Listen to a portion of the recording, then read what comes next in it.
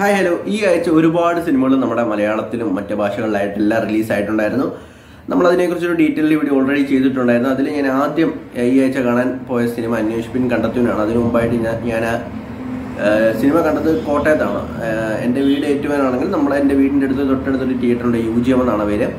അപ്പം സിനിമ ഈ ആഴ്ച അന്വേഷിപ്പിൻ കണ്ടെത്തുന്നുണ്ട് പ്രേമാരി ഉണ്ട് ലാൽ ലവറുണ്ട് ജെറി ഉണ്ട് ഒരുപാട് സിനിമകൾ അപ്പം ഈ സിനിമ അതായത് ഒമ്പതാം തീയതി ഫെബ്രുവരി ഒമ്പതാം തീയതി ഈ സിനിമകൾ റിലീസാവും ഫെബ്രുവരി ഏഴാം തീയതി നൈറ്റോട് കൂടി ഈ നമ്മുടെ യു ജി എം സിനിമാസിൽ പ്രേമാലു എന്ന സിനിമയുടെ ബുക്കിംഗ് സ്റ്റാർട്ട് ചെയ്തിട്ടുണ്ടെന്നാണ് എന്റെ തോന്നൽ. പിറ്റേ ദിവസം തന്നെ പ്രേമാലു ഫോർ കെയിലും പിറ്റേ ദിവസം അന്വേഷിപ്പിൻ കണ്ടെത്തുവിന്റെ ബുക്കിങ്ങും അവർ പ്രോഗ്രാം സ്റ്റാർട്ട് ചെയ്ത് ബുക്ക് മൈഷൂർ ബുക്കിംഗ് സ്റ്റാർട്ട് ചെയ്തു. അത് ടു കെയിലായിരുന്നു അപ്പോൾ എനിക്കൊരു ഡൗട്ട് ഉണ്ടായിരുന്നു പ്രേമാലു ഫോർ കെ കയറേണ്ട ആവശ്യമുണ്ടോ? അന്വേഷിപ്പിൻ കണ്ടെത്തിന് ഫോർ കെയിലാണെങ്കിൽ കുറച്ചും കൂടെ ഇതായിരിക്കും. ഇപ്പം പ്രേമലിൽ അങ്ങനെ വിഷ്വൽ ആയിട്ട് കാണാനുള്ള സംഭവങ്ങൾ നമുക്ക് എൻജോയ് ചെയ്യാൻ പറ്റിയുണ്ടോ എന്നൊക്കെ ഒരു ഡൗട്ട് ഉണ്ട്. എനിക്ക് അന്വേഷണം ഘട്ടത്തിൽ തന്നെ ഫോർ കെ കാണാനാണ് താല്പര്യം. പിന്നെ ആ, സമയത്ത് നമ്മുടെ സുഹൃത്തുക്കളെല്ലാം തന്നെ ടിക്കറ്റ് ബുക്ക് ചെയ്തിട്ട് ഞാൻ ടിക്കറ്റ് ബുക്ക് ചെയ്തിരുന്നില്ല ആ സമയത്ത്. ഒരു വൈകുന്നേരം ഒരു ആറ് മണിയോടെ കൂടി അവരുടെ ഇൻസ്റ്റാഗ്രാം പേജിലേക്ക് ഒരു അവർ ഒരു പോസ്റ്റ് ഇട്ടിരുന്നു. ചില സാങ്കേതിക കാരണങ്ങളാൽ എന്താണ് നാളത്തേക്കുള്ള സിനിമ തിയേറ്ററിൽ നാളെ ഷോ ഒന്നും കാണുകയില്ല എന്ന് പറഞ്ഞിട്ട് ഒരു പോസ്റ്റ് അവർ ഇട്ടിട്ടുണ്ടായിരുന്നു.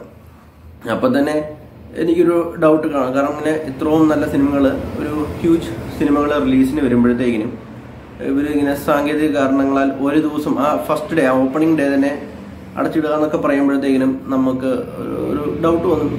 എന്തേലും ഇപ്പം ടെക്നിക്കൽ ഇഷ്യൂസ് ഒക്കെ ആണെങ്കിൽ അപ്പം തന്നെ നമ്മൾ പരിഹരിക്കണം. കാരണം അത്രയും സിനിമകളാണ് നാളെ വരാനുള്ളത്. ഇപ്പം യൂജിയം പോലെ തിയേറ്ററിൽ എന്ന് വെച്ചാൽ പെട്ടെന്ന് തന്നെ ആൾ കൂടുകയും പെട്ടെന്ന് ക്രൗഡ് ആവുകയും ഹൗസ്ഫുൾ ഷോസുകൾ നല്ല ഒരു പോസിറ്റീവുള്ള സിനിമ വന്നാലും അതിൽ മിക്ക ഒന്ന് രണ്ട് ആ ഒരു വീക്കെൻഡിൽ മിക്കതും ഹൗസ്ഫുൾ പോകുന്ന ഒരു തിയേറ്ററാണ് യു യൂജിയം എന്ന് പറയുന്നത് പിന്നീട് നോക്കുമ്പം പിറ്റേന്ന് ദിവസവും ഇതുപോലെ തന്നെ സിനിമയില്ല ബുക്ക് മൈ നോക്കുമ്പോഴത്തേക്കും ഇത് ചാർട്ട് ചെയ്തിട്ടില്ല.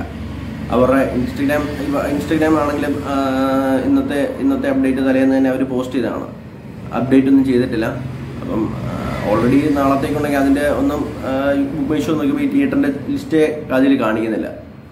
അപ്പം എന്താണ് പ്രശ്നമൊന്നും കാര്യമൊന്നും നമുക്കറിയത്തില്ല. പക്ഷേ നമ്മുടെ കോട്ടയത്ത് ഒരു അടിപൊളി ഒരു തിയേറ്ററാണ് പിന്നെ അതുണ്ടായി നമ്മൾ ഇപ്പം അതില്ലാത്തതുകൊണ്ട് ഞാൻ അന്വേഷിപ്പിൻ കണ്ടത്തിന് കാണാനായിട്ട് കോട്ടയം വരെ പോയി കാണേണ്ട അവസ്ഥ വന്നു. അല്ല ഓക്കെ. എന്തൊക്കെയാണെന്ന് തന്നെ യു ജി എം അത് തിരിച്ചു വരിക? ഇനി അടുത്ത ആഴ്ചകളിലെല്ലാം തന്നെ ഒരുപാട് സിനിമകൾ റിലീസാണ് ബ്രഹ്മയുഗം അതുപോലെ തുണ്ട് തങ്കമണി തലവൻ ഒരുപാട് സിനിമകൾ റിലീസ് ചെയ്യുന്നുണ്ട്. മഞ്ഞുമൽ ബോയ്സ് അപ്പം ആ ഒരു സമയത്തെങ്കിലും നമുക്ക് ആ തിയേറ്റർ തിരിച്ചു വരട്ടെ എന്ന് നമുക്ക് ആഗ്രഹിക്കാം. ഇനി നമുക്ക് അന്വേഷിപ്പിൻ കണ്ടെത്തുവിന്റെ വിശേഷങ്ങളിൽ കിടക്കാം.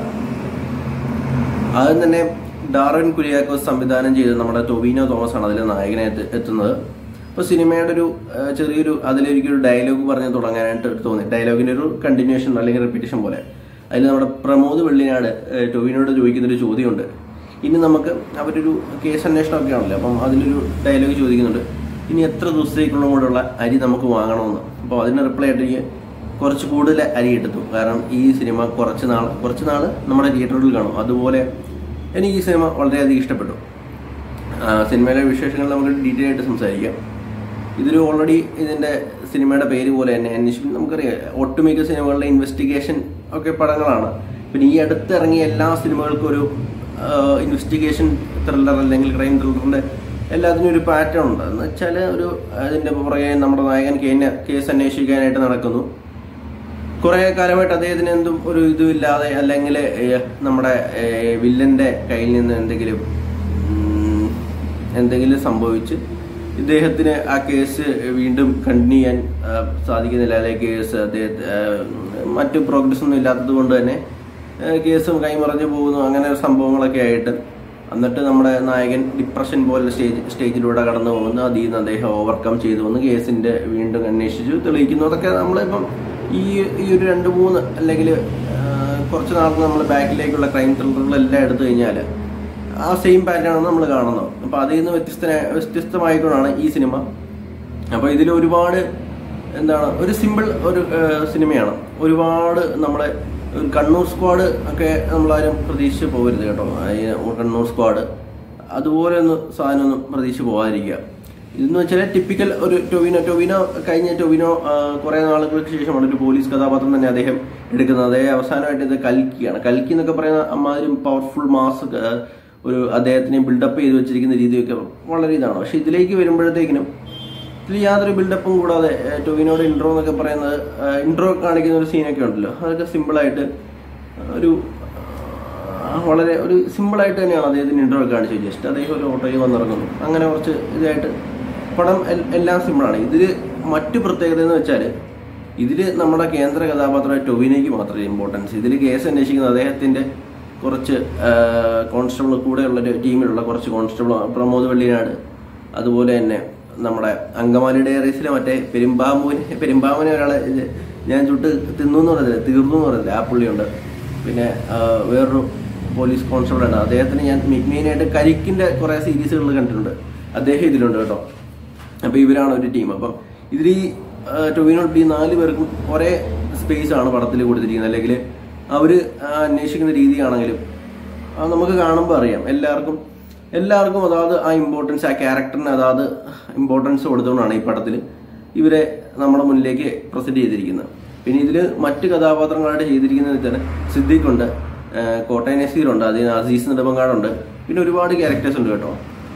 ഇതിന്റെ പ്ലോട്ട് എന്ന് പറഞ്ഞാൽ രണ്ട് കേസ് അന്വേഷണങ്ങൾ കാര്യങ്ങളാണ്. ആ രണ്ട് കേസ് അന്വേഷണത്തിന്റെ അവസാനത്തിലും വില്ലനെ ഇത് സ്പോയിലർ നിങ്ങൾക്ക് ഇതിന്റെ ഈ എലമെന്റ്സ് ഒക്കെ തിയേറ്ററിൽ തന്നെ പോയി കാണുന്നുണ്ടെങ്കിൽ ജസ്റ്റ് നോട്ട് ചെയ്ത് സ്പോയിലറാണ് അപ്പം രണ്ട് കേസ് അന്വേഷണമാണ് നമ്മുടെ ഈ സിനിമയിൽ കാണിച്ചു വന്നത്. ഈ രണ്ട് കേസിന്റെ അന്വേഷണത്തിന്റെ അവസാനവും പ്രതികളെ പിടികൂടിയിട്ട് തന്നെ നമ്മുടെ നായകൻ തോറ്റുപോകുന്ന ഒരു സാഹചര്യമാണ്.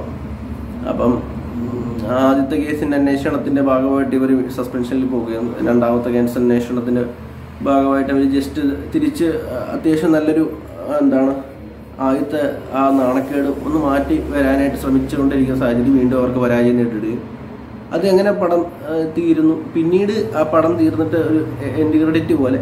പിന്നീട് ഇവർ ഏതൊക്കെ മേഖലയിൽ എന്തൊക്കെ തൊഴിൽ ഈ നാല് പേരും എന്തൊക്കെ ചെയ്യുന്നു എന്നൊക്കെയാണ് പടത്തിൽ മെയിനായിട്ട് കാണിച്ചു പോകുന്നത്. പിന്നെ പടത്തിൽ ചെറിയൊരു ടിസ്റ്റൊക്കെ അവർ ഉൾപ്പെടുത്തിയിട്ടുണ്ട്. ഞാൻ ആ ടിസ്റ്റ് നമ്മൾ പ്രതീക്ഷിക്കുന്നില്ല. നമ്മളെ നമ്മളെ പോലെ ഇപ്പം നമുക്ക് ഈ പടം മൊത്തത്തിൽ കണ്ടുകൊണ്ടിരിക്കുമ്പോഴത്തേക്കിനും ഓക്കെ ഇങ്ങനെയൊക്കെയാണ്. നമ്മളെ ആ ഫ്ലോയിലേക്ക് കൊണ്ടുവന്ന്. അവസാനം ഈ ഒരു ടെസ്റ്റ് നമ്മൾ പോലും അവിടെ എനിക്ക് പ്രൊഡിക്റ്റ് ചെയ്യാൻ ചില സിനിമകൾ നമുക്ക് പ്രൊഡിക്റ്റ് ചെയ്യാൻ പറ്റും. പക്ഷെ ഇത് അങ്ങനെ പ്രൊഡിക്റ്റ് ചെയ്യാൻ പറ്റിയ സാധനങ്ങളൊന്നും ഇല്ല. ആ ടെസ്റ്റിൽ നമുക്ക് പ്രൊഡിക്റ്റ് ചെയ്യേണ്ട ആവശ്യമില്ല. എന്നാലും അത് വലിയ ടെസ്റ്റോ കാര്യങ്ങളോ ചെറിയൊരു ചെറിയൊരു ടെസ്റ്റ് അത് വളരെയധികം നല്ല രീതിയിൽ തന്നെ അവർ എക്സിക്യൂട്ട് ചെയ്തിട്ടുണ്ട്. പിന്നെ ഇതിന്റെ മ്യൂസിക് സന്തോഷ് നാരായണനാണ്. അപ്പം ഇതിൽ നമ്മൾ എന്താണ് ഈ ഒരു മൂവിയിലേക്ക് നമ്മളെ ആ ഫ്ലോയിലേക്ക് കൊണ്ടുവരാണ്ട് ആ മ്യൂസിക് ശ്രദ്ധിച്ചിട്ടുണ്ട്. അല്ലെങ്കിൽ സാധിച്ചിട്ടുണ്ട് ആ മ്യൂസിക്കിന്. പിന്നെ ഒരുപാട് പേരുണ്ട്. ഇതിന്റെ റൈറ്റർ ആണെങ്കിലും അദ്ദേഹം ഇതിനു മുമ്പ് ആദ്യമായിട്ട് ചെയ്യുന്ന റൈറ്ററായിട്ട് ചെയ്യുന്നത് മാസ്റ്റേഴ്സ് ആണ്. രണ്ടായിരത്തി പന്ത്രണ്ടിൽ ഇറങ്ങിയ. പിന്നീട് അദ്ദേഹം ലെൻഡർ ബ്രിഡ്ജ് ചെയ്തു. പിന്നെ അദ്ദേഹത്തിന് അദ്ദേഹം ഡയറക്ട് ചെയ്ത പടമാണ് ആദം ജോൺ എന്ന് പറയുന്നത്. നമ്മുടെ പൃഥ്വിരാജ് നായകനെ എത്തുന്നത്. പിന്നീട് അദ്ദേഹം ഇതിലേക്ക് ഇതിലേക്ക് റൈറ്ററായിട്ട് വന്നു. അപ്പം നല്ല രീതിയിൽ തന്നെ സിനിമ എടുത്തു വെച്ചിട്ടുണ്ട്. വലിയ നോർമൽ കഴിഞ്ഞു പോയ ക്രൈം ത്രില്ലറൊക്കെ പോലെ വലിയ സംഭവങ്ങളെ കാര്യമില്ല ഇപ്പൊ കഴിഞ്ഞു പോയ ക്രൈം ത്രില്ലർ നമുക്ക് ഹോസ്റ്റലർ ഉണ്ട് ഉണ്ട്. ആ ഒരു പാറ്റേണിലുള്ളൊരു ഇതല്ല. ഇതിലേക്ക് വരുമ്പോൾ ഇതിലേക്ക് വരുമ്പോഴത്തേക്കിനും കുറച്ചും കൂടെ എന്താണ് സ്ലോ അല്ല പക്ഷെ അത് നല്ല രീതിയിൽ തന്നെ അവർ പറഞ്ഞു പോകുന്നുണ്ട്. ഫസ്റ്റ് ഹാഫ് ഒക്കെ കഴിഞ്ഞു പോയി ഞാൻ അറിഞ്ഞില്ല. വളരെ നല്ല രീതിയിൽ തന്നെ ഇൻട്രസ്റ്റഡ് ആയിട്ട്. നമുക്ക് ഒട്ടും ബോർ അടിപ്പിക്കില്ല കേട്ടോ. ചില സിനിമകൾ അതായത് ചില സിനിമകൾ കാണാൻ പോയി കഴിഞ്ഞാൽ ഞാൻ ഇടയ്ക്കിടയ്ക്ക് ഫോണിൽ തോന്നുന്നു സമയത്രയോ എത്രയായി? ഇന്റർവെൽ ആവാറ ആ ഒരു ഇത് നമുക്ക് ഈ പടം കണ്ടുകൊണ്ടിരിക്കും എനിക്ക് ജസ്റ്റ് പോലും എനിക്ക് തോന്നിയിട്ടില്ല. കാര്യം ഞാൻ ആ ഫസ്റ്റ് ഹാഫ് പോയതുപോലെ പോലും ഞാൻ അറിഞ്ഞിട്ടില്ല അതുപോലെ എൻഗേജിങ് ആയിട്ട് സിനിമ നമ്മളെ കൊണ്ടുപോകുന്നുണ്ട്. അപ്പം ഞാൻ ഓൾറെഡി പ്രമോദ് വെള്ളിനാട് പറഞ്ഞ ഡയലോഗ് ഉണ്ടല്ലോ. ഈ ഒരു കുറച്ച് കൂടുതൽ അരി എടുത്തു നമുക്ക് ഈ പടം കുറച്ച് നാളും കൂടി ഇവിടെ നിൽക്കും. പിന്നെ വേറൊരു കാര്യം അടുത്ത ആഴ്ച ബ്രഹ്മയുഗം തുണ്ട് അതുപോലുള്ള പടങ്ങൾ റിലീസ് ആവുന്നുണ്ട്. അപ്പോൾ തിയേറ്ററിന്റെ കാര്യങ്ങളും ചാട്ട് ഷോകളെല്ലാം തന്നെ വലിയൊരു ഇതാണ്. ഇത് അതുപോലെ കൂടെ ഇറങ്ങിയ പ്രേമാലിയൊക്കെ നല്ല അതിനൊക്കെ നല്ല പോസിറ്റീവ് റിവ്യൂസ് ആണ് വന്നിരിക്കുന്നത്. ലാൽ സ്ലാമിന്റെ ഇതറിയത്തില്ല പ്രേമാലു അടുത്ത ദിവസം കാണാൻ പോകണം. അപ്പോൾ അതും കൂടെ കഴിഞ്ഞിട്ട് അതിന്റെ റിവ്യൂ കൂടെ നമ്മൾ ഇടുന്നതായിരിക്കും.